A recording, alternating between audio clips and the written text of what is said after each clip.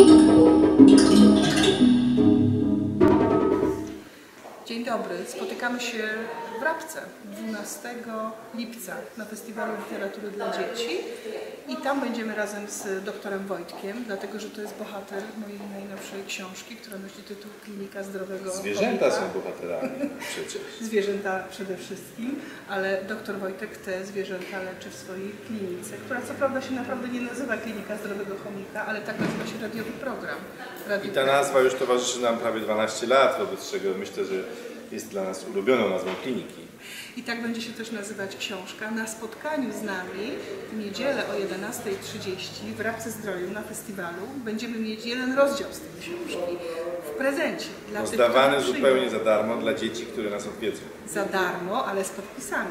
Doktora Wojtka? Może nawet znajdziemy jakąś psią łapę, która będzie nam towarzyszyć i która też podbije się na tej książce. Bardzo serdecznie zapraszamy. Barbara Gawryluk, autorka książki. Wojciech Kujawski, Doktor. lekarz weterynarii.